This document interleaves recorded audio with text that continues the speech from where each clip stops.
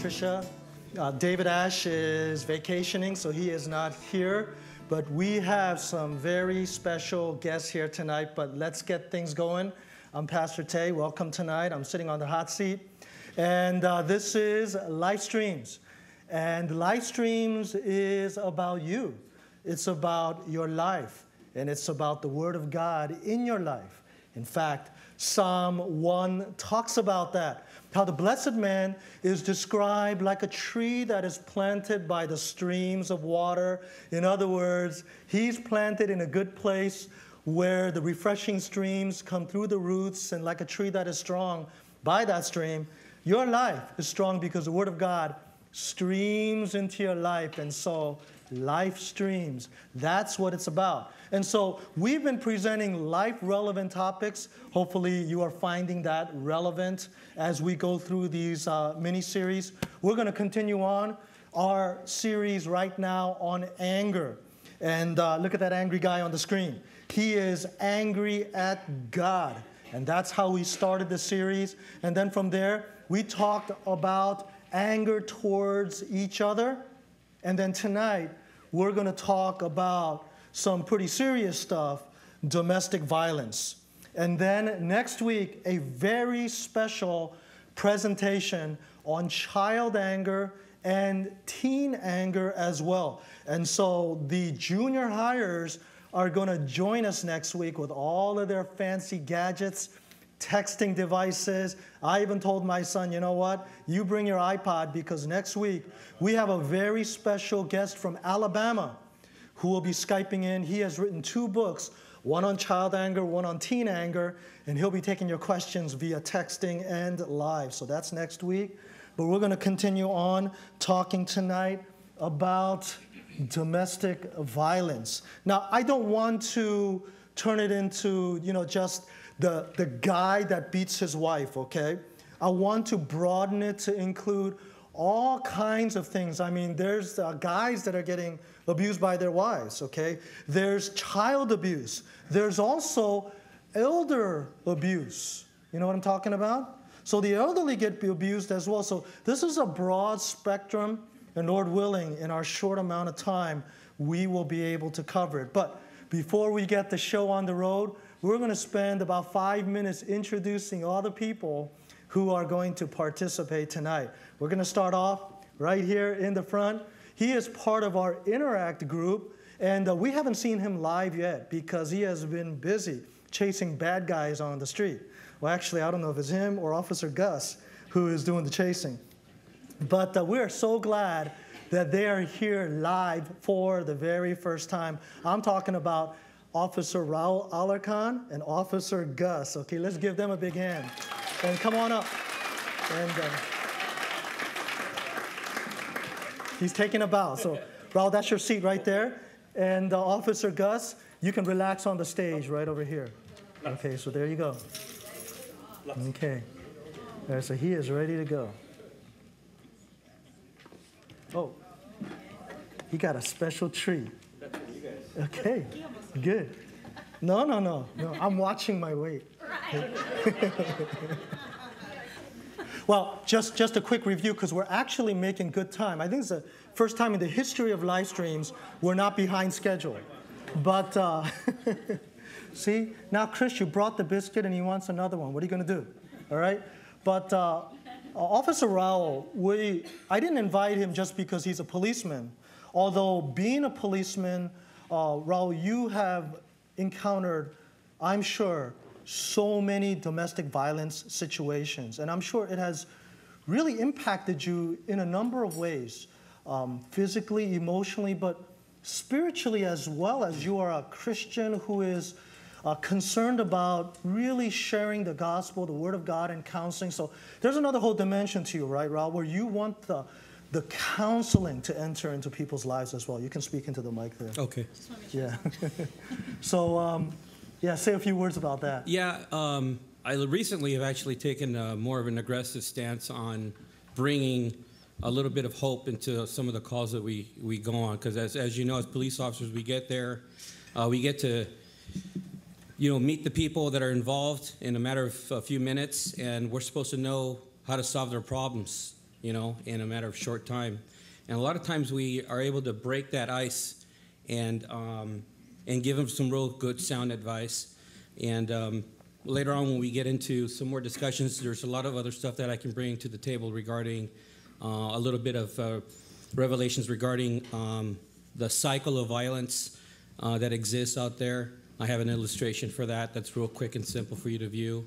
Um, but when I have the opportunity and there's a little bit of a light in the discussion, um, when it's appropriate, I, I do um, extend prayer to the victim. A lot of times, if it hasn't gotten to a point where somebody's going to jail, I'll pray with the family, with the children. Um, so I take it a little bit beyond what most the what the average police officer would do. So. All right, I appreciate that. All right, we're really glad that you're here tonight. Okay, good. He's such a good dog. Okay, I mean officer. Okay, great to have Officer Gus. How long have you uh, been together? Uh, for four years. Four years. Yeah. Awesome. Okay, great. Well, you guys. Okay. we knew he was going to steal the show tonight. We still have five minutes to go before we video conference our special guest for tonight. He is Dr. John Street, who has just tons of experience in counseling people in many different areas, even domestic violence. And so we'll be calling him in about five minutes. But uh, before we do, I have two more special guests that I want to bring to the stage and put them on the special chair over here. The first is another officer who has just as much experience. Um, in fact, he is now retired. A lot more. You all know him. Officer Bill Davies is here with us tonight. So, Officer Bill, where are you? I can't see you. Are you here? There he is, over here. So, Bill, welcome. Okay. So, Chris, crank up his mic if not ready to go. But, Bill, we're glad you're here tonight. We know that you've made presentations at churches already, but uh, you kind of have a background and you've seen, unfortunately, you've seen a lot of stuff out there. I have. Uh, after 25 years with the Riverside Sheriff's Department, I started off as a deputy for six years working patrol. And then I got into as a crime analyst, uh, became a profiler, working on a serial killer case, dealing with families of victims, and then 18 years in forensics.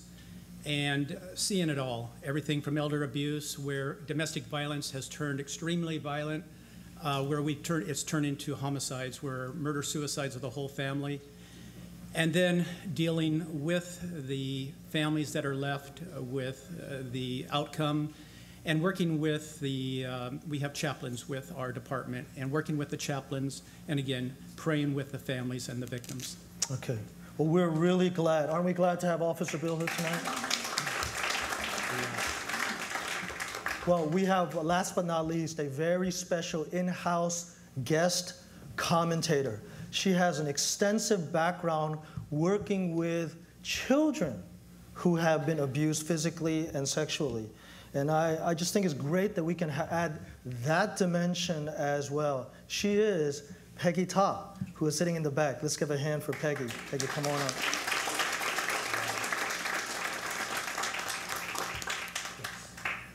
Okay, so this is our group, just, just a wide variety of people. Thank you, Peggy, for, for coming tonight. But what a pleasant surprise. You were talking to my wife just casually last week about your experiences, and when I found out, I had to give her a call and invite her onto the stage. But Peggy, why don't you uh, introduce yourself, your background, and, uh, and how this topic is very relevant to you? Well, when we left Orange County, we moved out to um, Banning, Beaumont, and the village of Childhelp USA is in Beaumont. And I knew it was there, and I knew that the Lord wanted me there, so I spent 15 years with the oldest boys who these children are taken away from their parents legally. They live there for at least two years trying to rehab them. And I just had the pleasure of 15 years of loving them. I probably had a total of 75 in all Wow. over the 15 years. They were the most wonderful kids I've ever known, and yet people in town thought they were criminals. But I got finally talked them into Childhelp, the head of it, to take them home with me. And uh, they can never spend the night because they're wards of the court, but I got to take them home treat them like I had my own. And it was the best thing that ever happened to me, and hopefully I was able to touch them. So, um, can you describe just generally what kinds of situations these kids were involved in? Um, some were suicidal. Uh, one boy, um, his mother, they, he and his little brother, he was three and his brother was two. He took care of his little brother, tried to find food. They ate out of garbage cans, and I know people say this never used to go on in this country. It has always gone on. His mother held a gun on him. And as a result, by the time he was taken away, he tried to commit suicide. He tried one day to jump off the roof of the administration building out there. And, um, and I got to hold him and try to talk him down. He was the one I used to dry his hair at night, and he'd almost go to sleep because I was just touching him. And I had, I had wonderful experiences. I was blessed, and I hope I blessed some of them too. Wow, incredible. Well, we're going to, uh, let's give a, a hand to, to Peggy. Thank you so much for being here tonight. And we're, I'm, loo- I'm looking at the clock because we have a very special presentation, but I do want to end the presentation a little early so that we can then hear from uh, all the specialists and even Trisha, who is taking the uh, texts and the emails. So we want to hear from you. I'm sure there's some rich experiences and insights, questions. You guys know the texting number and the email. If you want to write a longer one, go ahead and uh, send that in. And Chris is twittering and Facebooking right now. So take out all your fancy gadgets and follow us right now on Facebook, okay? So here's our itinerary for the next 15 minutes, okay? It's not a lot of time. And I know our special guest is a little bit distressed that we don't have a lot of time, but we'll just have to make do with uh, what we have. But what we're going to do tonight is we're going to talk about the profile. That's where we're going to begin. Profiling the, um, the abuser. And then we'll profile the victim. And then we'll ask some questions about the church. What can the church do to help? And then from there, that it can go in all kinds of directions. And really, Bill and Peggy and Raul and Gus, okay, if you're not too hungry, your job is to just insert yourself when it's relevant, okay? I know it's going to be tough. Uh, John loves to talk, Dr. John, but we'll, we'll see what we can do to try to create a very healthy discussion. And of course, you guys, uh, Facebook, uh, put in your comments and things and, uh, and so forth, all right? Chris, you ready to go? You're Twittering, Facebooking, you ready? Okay, let's give him a call. Okay, this is Dr. John Street with, uh, I'm thinking he's got more than 30 years of experience in biblical counseling. And um, he is considered one of the nation's experts in all areas of uh, just sexual abuse and, and just many things, and uh, just a real personality, too. Raul, you remember, as we're calling him, you remember visiting him. Yes. Tell, tell, us, tell us a little bit about that, and why did you go visit Dr. John? Well, um, I've uh, I've had a long a long time uh, goal of uh, achieving um, my bachelor degree finally because I, I don't have it yet, and um. And um, one of the things that uh, I had shared with uh, both our, both the pastors here, Pastor Stan and and uh, Pastor Tae, was my passion for marriages, uh, my passion for the family unit, and um, originally I was going to get a degree in psychology with an emphasis in family and um, um, uh, family and uh, marriage counseling. And so I, I got to, to talking to Pastor Tae, and uh, he gave me some insight um, as to maybe a possible possibility of going to a particular location called the Master's College. Um, Okay, and, that, uh, that's enough, Raul. You can say more later. say hi to John, to Dr. John. You Dr. remember, John, how are you? Hello. John, John, do you remember Officer Raul Alarcon? He came up to see you. That's the voice that you're hearing. I do. Now we were going to double Skype both you and him, but he uh, surprised us by showing up live. So he is here uh, live in person. You are on the screen. I don't know if you can uh, see me, but um, what we have here, Dr. John tonight, is we have Officer Raul. We have his uh, canine partner, Officer Gus. We have uh, Officer Bill Davies, a retired police officer who's worked in this area. Um, uh, Officer Bill Davies is here, and so you might hear Okay. his voice. And then we also have uh, Peggy Top, who has spent about 15 years working with abused children. And so these are people, they, they may insert their comments along the way, but uh, we want to talk to you tonight. Thank you so much for making the time. Oh, you're very welcome. My joy to be here. I know you're really, you must be really tired from teaching all day. What did you teach tonight at the seminary? Uh, oh, uh, this afternoon we had pastoral counseling that went for two hours, and then marriage and the family counseling and went for another two hours. All right, okay. So All right, good. uh, those students keep me on my toes. Let me let me put it that way. Okay. All right. Well, this is what we're going to do. I emailed you kind of an itinerary, the broad topics.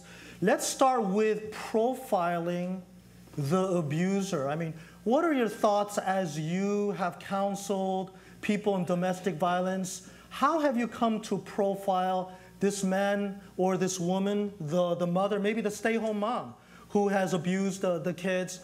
What are your initial thoughts about the profile of the abuser?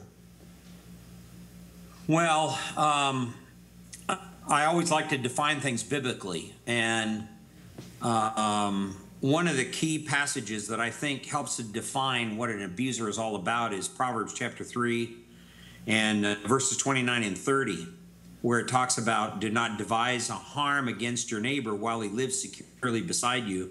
Do not contend with a man without cause if he has done you no harm.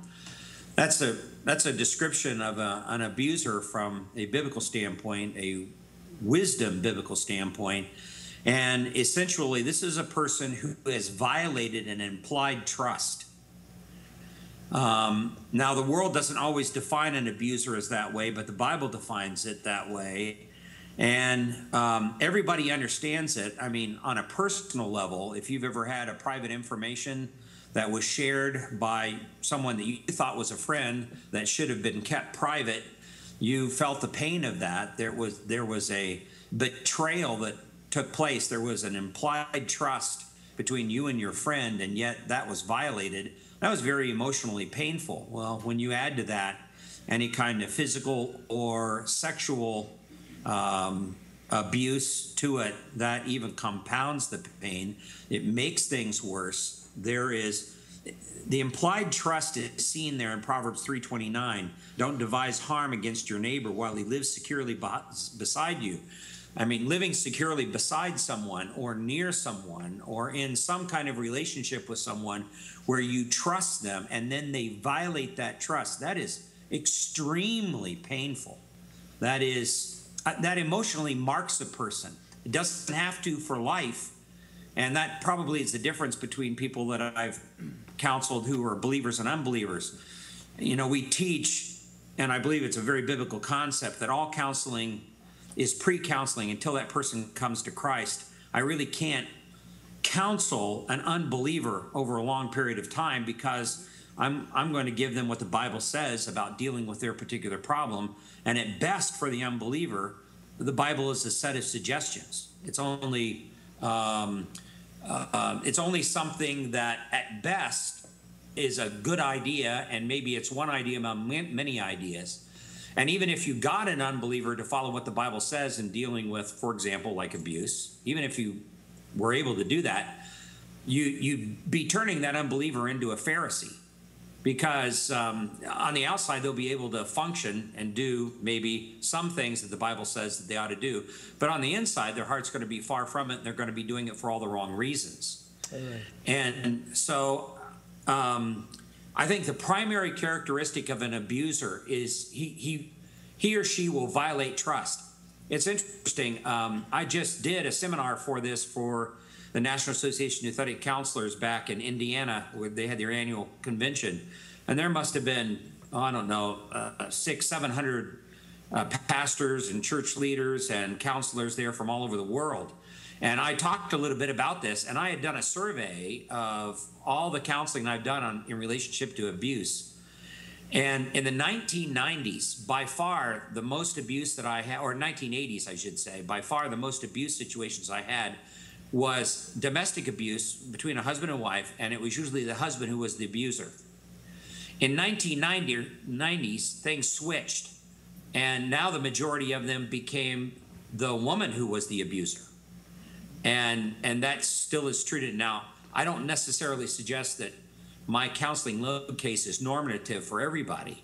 But I, do, I do think that there has been a major shift, culturally shift, um, when it comes to this particular issue. And there are a lot of women that are far more aggressive in this area in terms of violating trust uh, now than what used to be. It used to be this was almost totally, not completely, but almost totally a, a male problem. It's not just a male problem anymore. Okay, John, we and gotta, um, we gotta and push it. women a- eh, dealing with children too. The same thing's true with children. Go ahead. I appreciate that, John. I'm looking at the clock, and we've got a lot to cover. Just a Yeah. real quick comment about um, about the profile. Some more. Do you do you see the the abuser as somebody who shifts the blame? Uh, he's a he's a blame shifter. Maybe he's uh, complicated in that he he sees that it's somebody else's fault, then it's not really his or hers. They're just reacting to somebody else's problem. Do you see that complication with the abuser? Yeah, yeah. I mean, there's all kinds of sophisticated ways that people can do that, and contemporary psychology today um, gives them a sophisticated way to shift blame.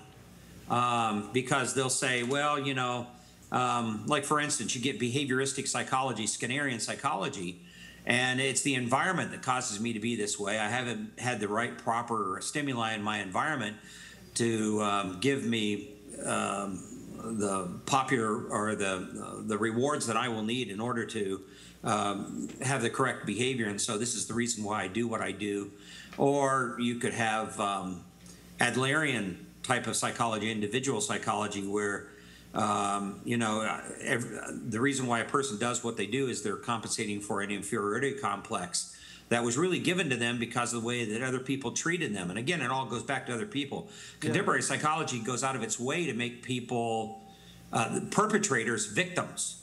Yeah. Um, Uh-huh. And when in reality, the Bible defines them as very responsible sinners that have the capacity to make choices, and oftentimes those choices are very, very sinful choices. Yeah, and that's going to be key in in um, in counseling them, right? Is to Yeah. have them understand and take ownership of their sin. You, you know, it's uh, take take the log out of your own eye first. Uh, that whole thing. But uh, let's move on a little bit, and of course, Officer Bill, Bill you've got something to say. Yeah, this I'd is like- Officer Bill Davies. Yeah, Dr. I'd like to also comment. Um, when I was working patrol back in the late 80s, early 90s, I did see a shift of domestic violence where it was primarily the men, but then it shifted to the women. Then when I got into the forensics division in 1992, I noticed that a lot of more violent crimes within the family were occurring with the wives, and we started seeing more murder suicides hmm. with the wife or the mother as the suspect and the husband and of course the children as victims. So I did see that shift during that time period, what you ah. were saying. Okay. Boy, that agrees with my counseling load. That's that's exactly right. Yeah. Okay, very good. Well, we have to move things along. Uh, everyone, let's focus on profiling the victim. Is there, as you're counseling and encountering the victim, are there things that are important for us to understand concerning the victim? Uh, I'm, I'm thinking of things like, for example, how the victim or victims are oftentimes reluctant to come forward for a number of reasons. So that plus anything else concerning the uh, profile of the victim. What are your thoughts, Dr. John? Um, sorry, I was a little bit distracted there. All of a sudden, the phone rang here next to my desk, and Yeah, we know you got a busy life over there, but I was thinking I about the uh, the sorry about that. victim I'm now. trying to get it turned yeah, off as quickly as possible. That's all right, no problem. so But, um, we're profiling the person who has actually become the victim. Is it, that it could be the it could be the spouse, it could be the children. yeah. Uh, All right, Peggy, let's you might talk have some about the thoughts about problem this. of- I don't know, but So many of my boys had been victims of their mother's boyfriends. yes. That was very, very prevalent. And mother did nothing. So she, as far as I was concerned, was an abuser too. okay. Well, um, I know that one of the issues, University of Washington did a pretty extensive study on um, dealing with victims, and especially in domestic marital abuse. And um, you kind of think that the person who's the victim is a wallflower, kind of a milk toast type of a person. But that was not the conclusion of the study. The conclusion of the study was usually the victim is, um, in- this particular case, this where I'm just talking restricted this to marital uh, relationships. The victim oftentimes is very talkative, uh, very assertive, very demanding uh, person. It's just the opposite of the wallflower kind of victim view that we have a tendency to act and or to describe. And that's probably one of the reasons why 1 peter 3 and verse 1 if you if there ever is a um, a book of the bible that deals with the abuse it has to be First peter. Because of course First peter was written within the context of the Neronian persecution. And during that particular time christians were being falsely accused of doing horrible things and it was all false and Nero, especially of burning Rome, and Nero was the one who had actually burned Rome in order to build bigger palaces for himself, but he accused the Christians. And so First Peter is written within that particular context, and a lot of Christians were being torn apart by wild dogs. They were being crucified. They were being covered with pitch and lit on fire to light Nero's gardens. Um, it was horrible. I mean, we're talking about um, excruciating death that came as a result of abuse. So when you read First Peter within that context, it changes everything. But in that, in First Peter 3 1, he's dealing with wives married to unbelieving husbands. And in verse 1, he says, he talks about uh, you can win your husband over without a word by the behavior of their wives. In other words, your husband, your unbelieving husband, into righteousness. It's never going to work. It's going to drive him further away from Christ. And besides that, it's going to make him even more angry and responsive. And that's exactly what the University of Washington study demonstrated that these, these women doing this are basically the type of women who are very assertive, very verbal. All right, John, thank you for bringing in 1 Peter 3. I think that's important. Uh, no, notice, um, listen, we're not trying to in any way downplay or disrespect the victim. I mean, the victim is the victim, okay? But uh, he mentioned some interesting things in the study as, as well about the victim that might even be goading the violence or is not the wallflower, but, might be stimulating it. I thought that was a very interesting uh, comment as well. Here's the question, John. Is it biblically permissible for an abuse victim to seek protection? Oh, that's a great question. And the answer, the short answer is yes, but you need to understand this from a biblical standpoint. If you have your Bible there, grab it and just go over to Proverbs uh, chapter 22 just for a moment. And verse 3 talks about the prudent sees evil and hides himself, but, but the naive go on and are punished for it. So the Bible says that when you see evil coming, uh, the prudent thing to do would be to hide, to avoid the evil, if you will. Uh, a very similar statement is made in Proverbs 27 and verse 12. A prudent man sees evil and hides himself. The naive proceed and pay the penalty. And of course, we've got a good example of that in the New Testament with the Apostle Paul when, um, in 2 Corinthians 11, verses 32 and 33, where the whole issue, um, the people of the town came out to, to actually stone him to death and he escaped. He he didn't just stand there and just take it. He uh, self-preservation is uh, is a very biblical thing, but let me extend it just a little bit further. The world has a tendency in secular psychology to talk about, let's say a person understands that they're going into a harmful situation, but they're willing to go in there for a good reason. In this particular case, they want to win the abuser over for righteousness' sake. Like I had a man whose wife threatened to kill him and did several horrible things to him. And I remember asking him, Dave, what do you want to do? And he says, I want to go back there and live with her. And I said, Are you sure? And he says, Yes, absolutely. Even if I said, even if it costs you your life, he says, Yes. Now the world calls that that person mentally ill. They're, they're uh, a codependent. The Bible didn't say that at all. The Bible says that that kind of a person understands that obeying God is more important than life. And if that abuser has the potential, and they have to have they have to have the right goal of of winning the or the abused person has the opportunity to win the abuser over for righteousness, and they're willing to take that. That's not wrong either. Okay, so but John, but what about do everything I really, what about really dangerous situations for the wife and for the children? You started off talking about trust and, and what have you, but what if that trust is repeatedly violated and the home now is just incredibly dangerous, okay? Yep. Then, then what? that's a okay? whole different Now, now it's unavoidable. Uh, the, the danger that they're going to walk into. Yep. Uh, we're going to have to clarify this uh, point where we are in this conversation, right? By saying that in that situation, hey, you, you just can't walk into that, right? Right. Well, when children are involved, of course, they're not making any personal decision for the sake of the gospel. They can't do that. So you're going to need to get them out of that situation. And of course, we have a, um, a legal responsibility also to report that if there has been any abuse in underage children. And of course, that's what gets done.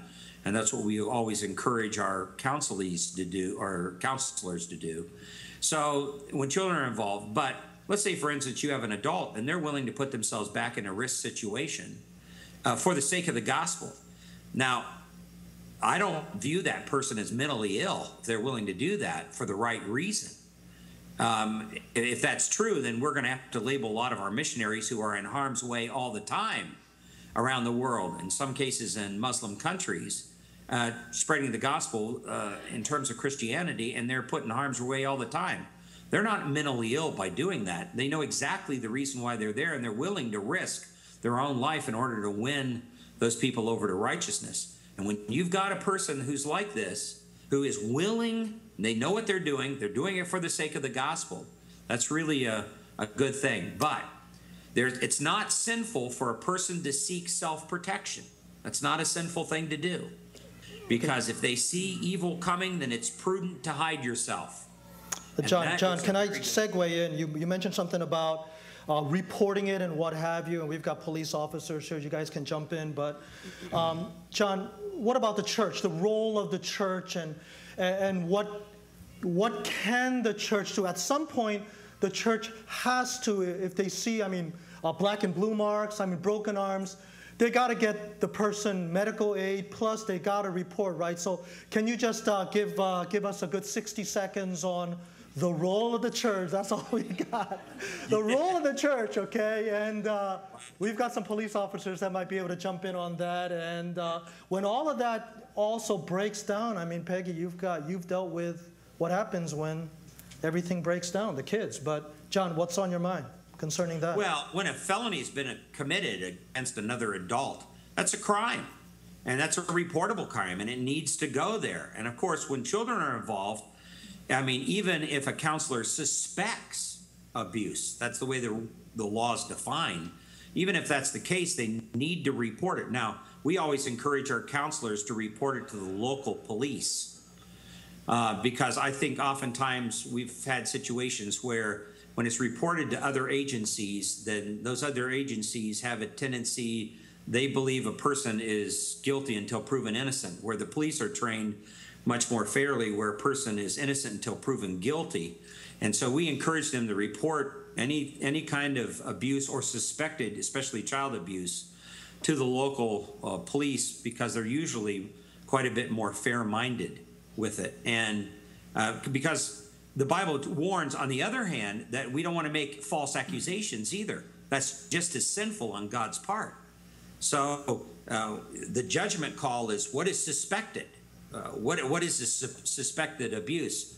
Well, if you suspect it and it is a, it's a serious um, uh, suspicion that you have, then you need to report it. You're John, you don't, then you will go to jail if it comes out later that it was genuine abuse and you didn't say anything about it. time flies when So- we're having fun, John. Yeah. But um, listen, uh, one last question, and we gotta we gotta go. And uh, you've been just awesome and so generous with your time, especially being so busy and tired. But one last question for you, and that is, could you kind of summarize? I know this will be difficult, but what you can do when you have an abuser in your office. How are you going to help this person? How are you going to get that person moving in the right direction? How can you help that abuser? All right, quickly, you've got to help that person understand why they react the way that they react. Usually, this goes back to an anger issue, and that anger issue goes even deeper into the heart and the heart's desires.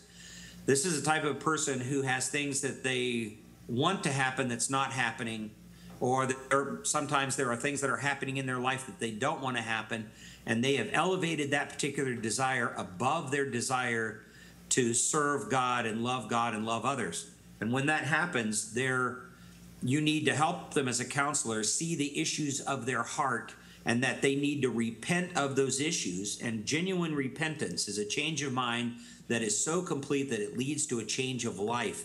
In other words, they're going to implement into their life substantive changes that you're going to hold them accountable for uh, in making when adverse circumstances um, present themselves and their nature, their human depraved nature, wants to respond in violent anger. And by the way, this is a, it used to be, the thinking used to be as a result of Adlerian psychology that the reason why people did abuse was because they had very low self esteem. Now, even secular psychology has demonstrated that to be wrong. That is never the case. It's never the case in the Bible. The reason why people abuse other people is because they are full of self confidence, they're full of high self esteem, and they've got to repent of that. In fact, they're so sure of themselves, they're willing to be violent with other people. There, there is a substantive issue that they have to see and repent on before God. So in other Again, words, it's inside uh, them. It's not the wife, it's not the kids, it's not the dog, okay? It's Right. them, right? That's right. That's exactly right. All right, Uh, th- this is something that they've got to see as a personal sin and a choice that they make, and that they and as soon as they own their own responsibility for their feelings and action, then they're free to change. As soon as they do that, as long as long as they blame other people, it's what my wife does, what the kids do, it's what the dog do, does. As long as they blame other people, they have no freedom to change. Yeah. John, we've run out of time. You've been very generous with yours. I appreciate it so much. We'll look forward to Skyping you again, but go ahead and enjoy the rest of the night. Thank you so much. Let's give Dr. John a big hand.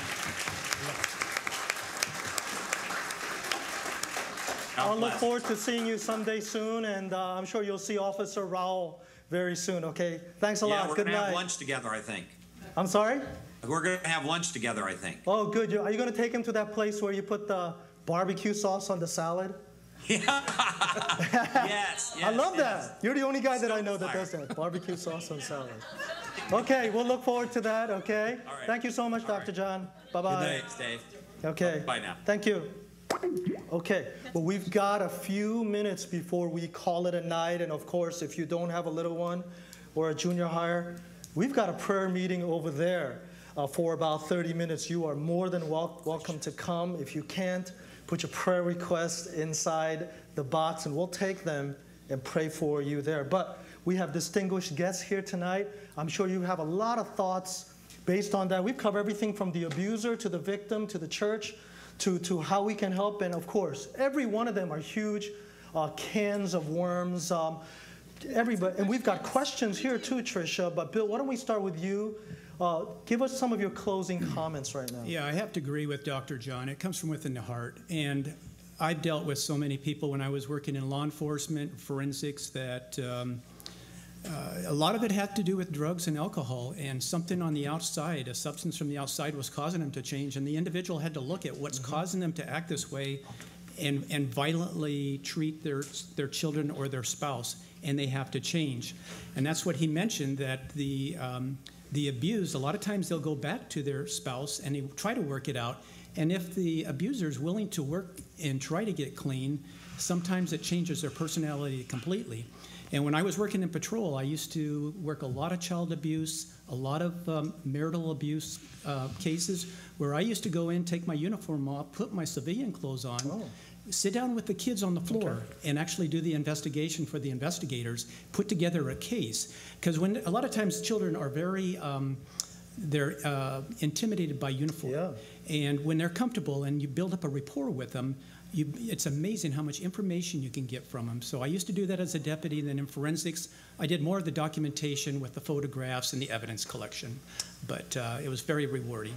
Well, Officer Bill, we want to thank you for your work in the community and for the Lord, and thank you so much for your participation tonight. Thank you. Um, Peggy, your thoughts. I'm sure you had a thousand thoughts concerning Well, the other end, the children.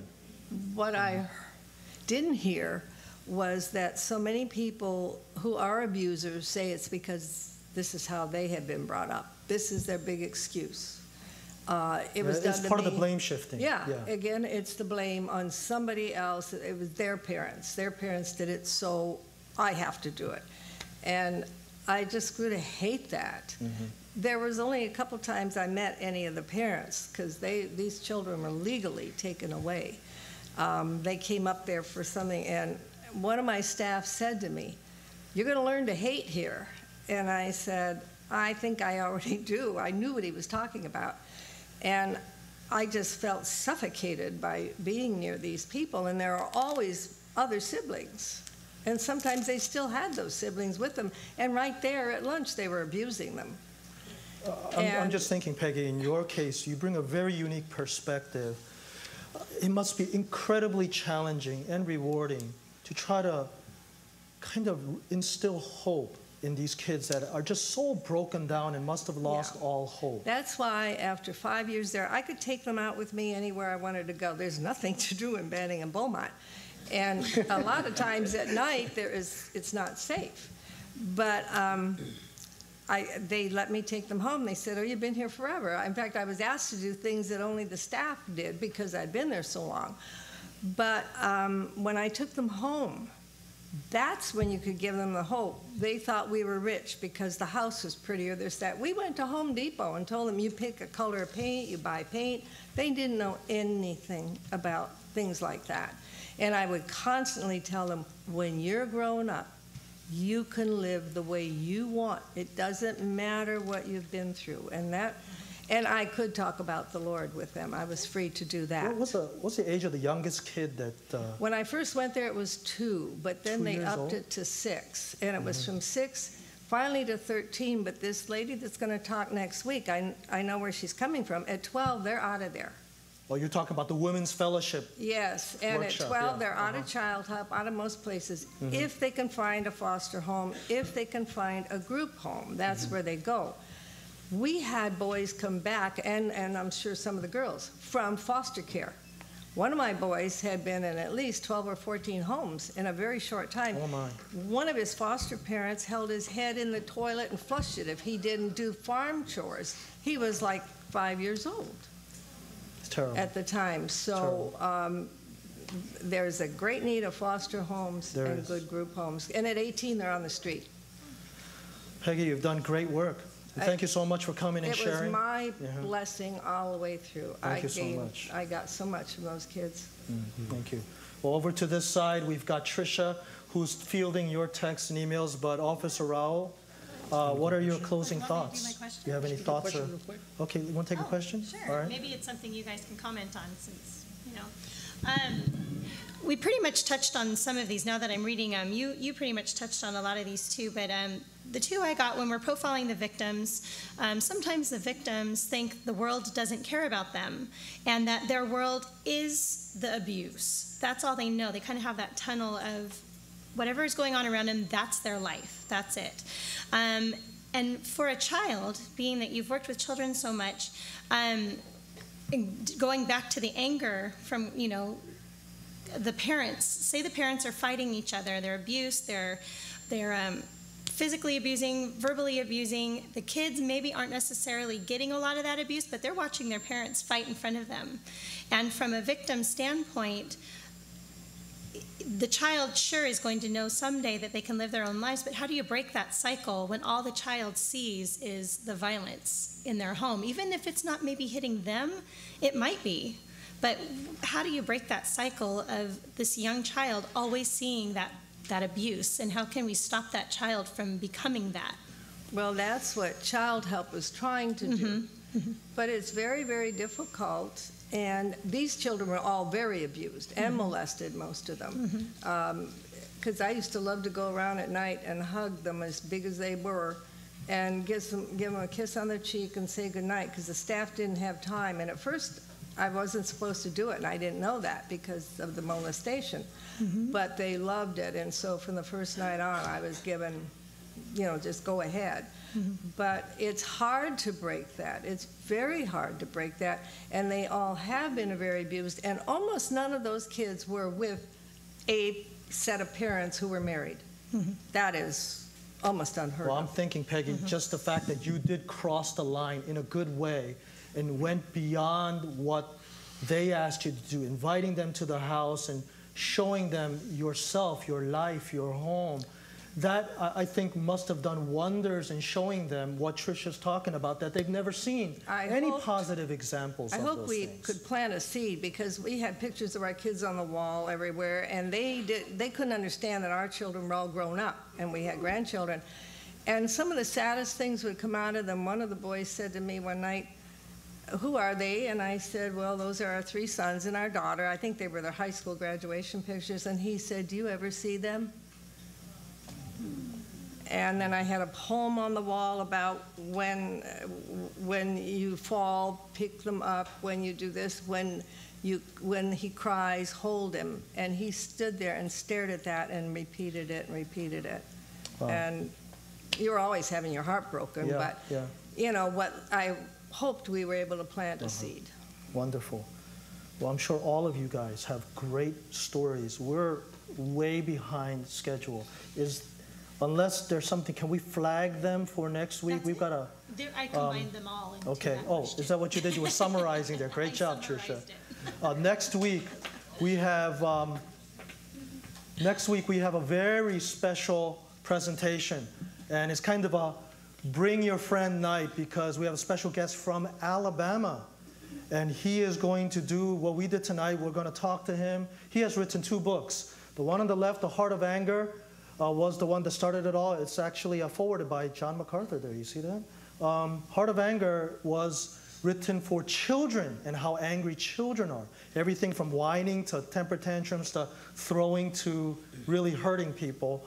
To then the companion handbook, uh, Getting a Grip, uh, is the teen book on uh, uh, that's connected to that. And so I asked him to do two sessions. Hopefully we can finish it in 20 minutes. We'll have the uh, junior hires uh, invited as well. That's uh, Dr. Lou Priolo. So we'll get the uh, advertisement to you. So all to all you young families, uh, bring yourselves, and if you got kids in junior high, uh, bring them as well. And for you grandparents, bring your grandkids, and uh, it's just going to be a great night. Bring your children, uh, adult children as well. It's going to be a great night of hearing it. But one last time, I want to thank Officer Bill, Peggy, Officer Raul. Uh, you want to? You have one last comment? Yeah, I- I'll take about 120 seconds if possible. Okay.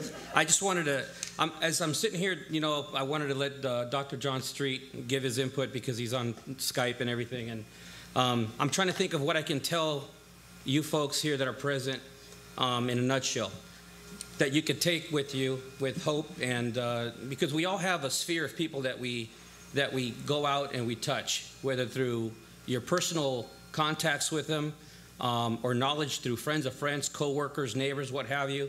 And I know all of us have come across somebody with domestic violence issues in their families, or um, you just know of, about it.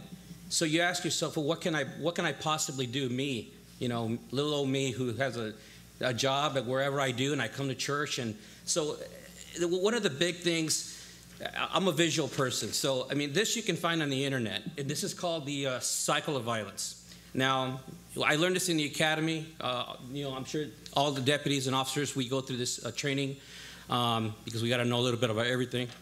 so, domestic violence. Um, it starts with the here. It indicates it's the buildup or tension um, leads to explosion, and then the cycle continues where there's remorse. The you know the abuser's remorseful. Uh, even the victim becomes remorseful because they start you know talking about like they, they deserved it or what have you. And then hearts and flowers. I'm so sorry, sweetheart. Here I, I wrote you a card. I'm gonna take you to your to your favorite dinner spot. And then the cycle continues, and it's a never ending. And so I've, I've been in, in homes uh, as an officer where I'm able to quickly draw this circle, label it for the victim, and, um, and let them know that, that the only way for them to break this is to simply one day make a decision where you just break that circle and you decide to step out and you encourage them through faith, you encourage them through um, uh, nurture, through support, through follow up, because they need somebody in their corner, you know, and they feel all alone. The minute you leave or you hang up that phone, they're back into their world. So with a follow-up, maybe a, a follow-up email, text now, you know, all the ways we can contact people, um, it could definitely help. And, um, and then the other thing that Dr. John Street touched on was regarding when you're talking to a non-believer versus a believer. Us as Christians here talking to, amongst Christians, we have a whole nother view of how we view the world, okay? And because we know who Jesus Christ is and he's our Lord and Savior, and we have we walk around with this Bible that's the instruction to life, you know, and how to live our life and and how to correct it and how to raise our children and everything. But when you all of a sudden, like last week, when I'm talking to a uh, to a boyfriend who, uh, through the victim, told us that she's been beat up ten times, but she's never ever come come come to report it. I walked over to that porch and I was talking to this guy, and I said. Uh, I started asking some questions that could possibly lead towards me even possibly praying for the guy because he was not going to go to jail that night because there was nothing that occurred that night that I, we can take him to jail for. So I took it an opportunity. Let me go talk to this guy while the other officers are dealing with everybody else, and I'm gonna see if I can maybe pray for this guy and give him give him some some good in, input. Well, lo and behold, he's a non-believer. Um, he totally went off of the, uh, another another spectrum as I'm talking to him. So I knew at that moment I, I was not going to be able to reach him. So I basically told him, letter of the law. Hey, listen, pal. If you don't do this, this, and that, you're going to end up going to jail. You're going to lose your children, and so on and so forth. So we have to keep that in mind. It's a delicate situation when you're talking to non-believers versus believers. Um, but that's that's kind of. I just wanted to give you guys this little this little take on the, All right, the cycle of that. Hey, let's give all of them a big hand. All of them. Thank you so Oh. much. Nice. And let's give Gus a big hand. He's been so patient. So patient. Good job, Gus. Good job, Gus. All right, all of you. I, I know we took a little extra time tonight, but it was just one of those topics, okay? It's just one of those topics. Listen, um, we've got so many exciting things happening next week and then the following week. We hope that you will come out, uh, bring your friends, bring all the little kiddos up that are jumping up here on stage. It's just wonderful to see. Have a great night. If you're not in a hurry, please join us for the prayer meeting. Great night. See you guys. Bye bye.